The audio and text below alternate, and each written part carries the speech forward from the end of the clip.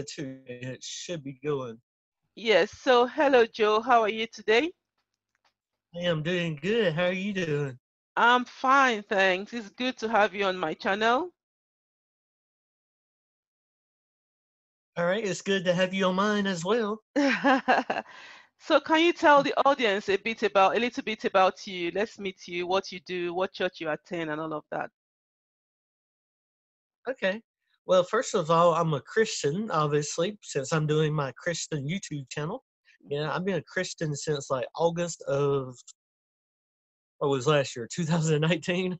Oh, yeah, this really? 20. Yes, ma'am. Yeah, this 2020 got me kind of behind on my times. I still Mm, can't believe it's 2020 already. I know, right? But yeah. Mhm. Yeah, Wow, but yeah, I've been saved. So that's about what seven months or so. seven Yeah. months. Thing about it, like, yes, ma'am. Yeah, a lot of people don't know. Like, I've always believed in God ever since I can remember. I just, for the last three years, I kind of been mad at him because I, we lost my dad like to a heart attack. So I Mm, kind of, you know, like blamed him. But a few months ago, I went through some other hard times, and I just finally gave it all to God one day. And like, you know what, God, I'm not gonna be mad at you anymore. Ever since then, I've been trying to live my life for Him. Oh, Uh, that's though it, that. yeah, it has been a struggle though because I do have some other personal things going on, but I'm making it. Yeah, and like for my channel, I just want to, you know, go out there and spread God's love. I mean, He did so much for me. hmm I mean, I got to think about it. Like everybody knows that, like you know, Christians know that God gave His Son Jesus to die on the cross for me. hmm Yeah, I got to think about that one day. I was like, what if just some normal person like gave their life, like if they just pushed me out in hmm front of a bus or something, how amazing that would be. Yeah. But then here is got God, He did that. I mean, He took the worst kind of beating anybody could take. And He did that for not just me, but for everyone. For And everyone. is like a lot. Yeah, and here's a lot of us. We'll like we'll talk bad about God, say there is no God. I mean, we treat him terribly, yet he still loves us. I mean, to me, that's just amazing. And I just want to like share that with people, you know? Mm, mm, mm. That's a beautiful story you have there, Joe. It's so Thanks. good. Yeah. To think that you've only been a Christian for a few months and you are eager to Uh-huh. share God's love with everyone, to tell everyone what God has done for you. You know, in spite of the challenges you have, you still want to proclaim God's love. That's awesome. That's so good. Yeah, I think it is too. Yeah, I mean, Mm, that's all I want to do. Everything I do, I try to do it for him. mm, mm. I mm. mean, it's the least I can do. I mean, he literally gave his life for me. I mean, I can't do enough. mm. Wow. yeah. Yeah. That's pretty much my Jesus story, so to speak. yeah, yeah, yeah. he two, gave. as far uh, Yeah, carry on. yeah, as far as the oh, you're fine. Yeah, as far as the type of person I am, I've always been a good person. Yeah, I'm a, I'm I'm always that friend that is always there for those that I care about. hmm Yeah, and two, a lot of times, like I'm always like the brother figure. you know, and two, big, I'm a huge dork, as you've probably noticed. Yeah, the big I'm brother. into yeah, the big nerdy brother, basically. Yeah, I'm all into that Star Wars and computer stuff. Are you? Yeah. Hmm.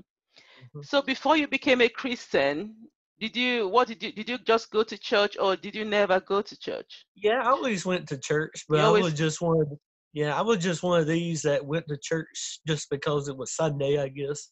It was just on my to-do list. Mm, Yeah, but now I go because I genuinely want to be there. Yeah, and really, I wish I could go more than Sundays. I'd go every day if I could. Um, mm, yeah, and actually, that's like back when we had Christmas. Like we didn't have church on Christmas Day, but I was like, you know what? We really should have Christmas. If you can't go to um church on Jesus' birthday, then why go? You know? Yes. Yeah. So so now you have a relationship with him. Is uh that what yes, makes ma'am. the difference? That does make a difference. It makes a huge difference. Mm, yeah. plus the church I go to, oh, it's an awesome church. It's the first church I've ever been to where Okay. people like actually act Christian. Yeah. Mm. It actually makes a lot of sense too because it's a church that's only been around like four or five years, Right. and like the couple, it's a young couple that runs it, like the pastor and his wife. Mhm. They're only in like their forties. Well, Okay. they started it to help the forgotten, which is these people that are like on drugs, like may have been in jail. Mhm. Yeah, so like these are people that have literally hit rock bottom, and Jesus came into their lives and literally changed them. Yeah, Right. he like literally like saved their life, so they know what it's like to actually be saved by Jesus, not just figuratively but literally. Mm. so that- mm. That church, it's an awesome church. It really is. Yeah, that's awesome to help people who society has kind of neglected. You know, that's really good to give them hope again, you know, because Jesus Christ died for everyone, and that includes people on drugs or whatever, you know, Exactly.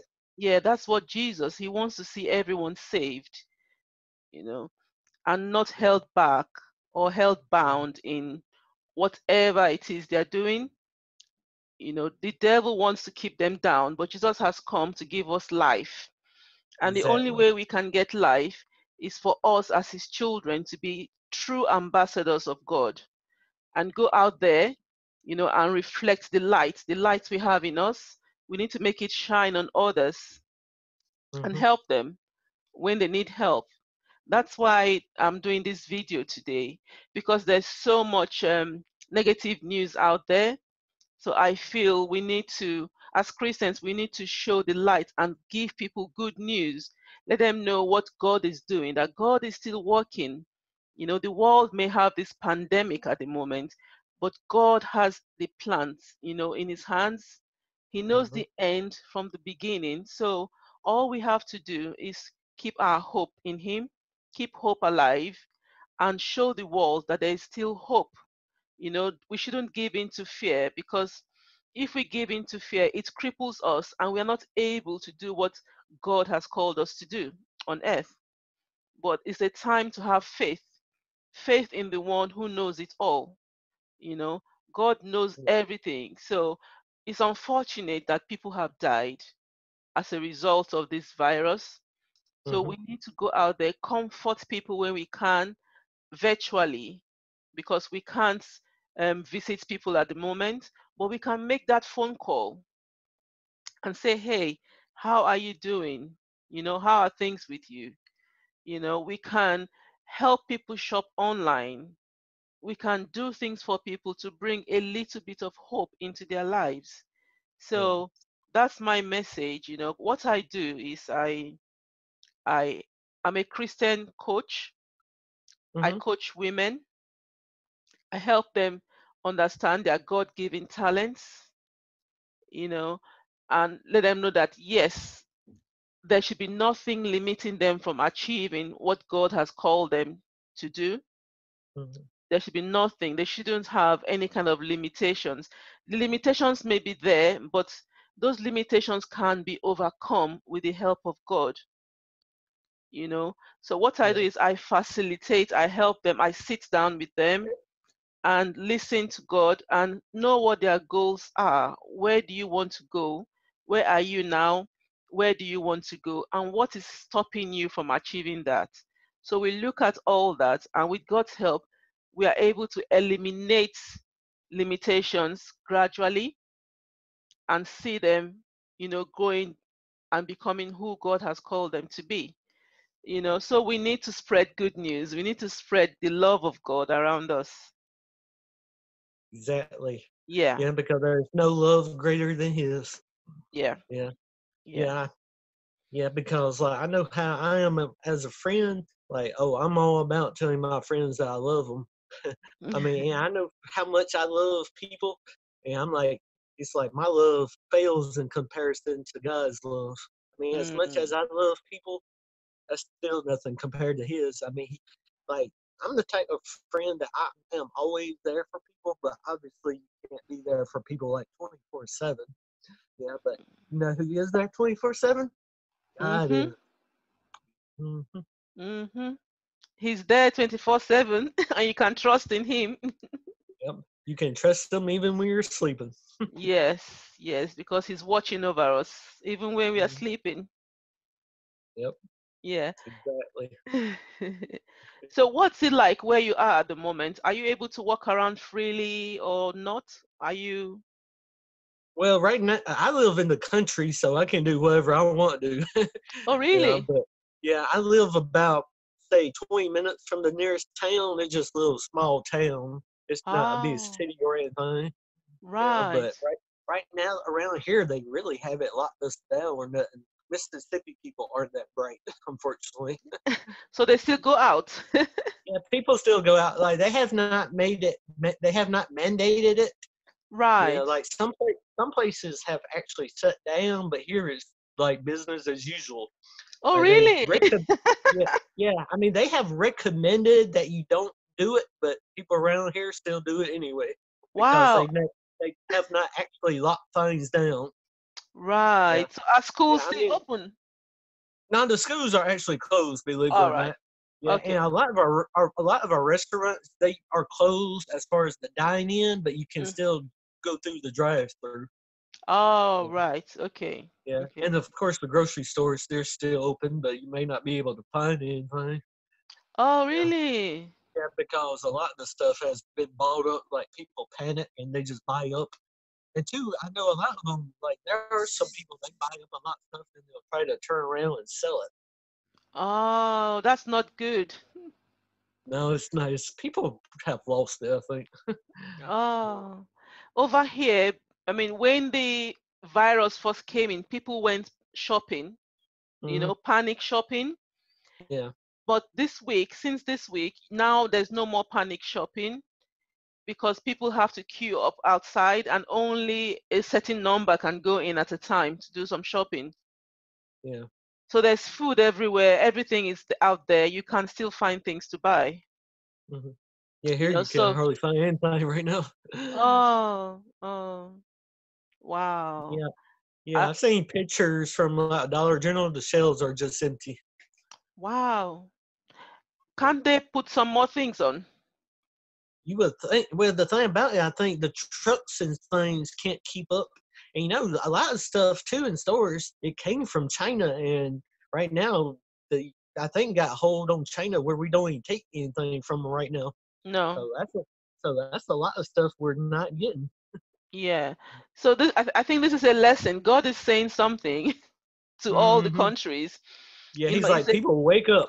yeah, it's a time for everyone to reset, you know, hmm press the reset button. Countries need to start manufacturing their own things and stop depending on China, you know, Exactly. manufacture Yeah. your own things. So if this happens again, you don't have lack of food or anything. hmm Yeah, that's like every time I went into a store, I flipped something over. It's like made in China.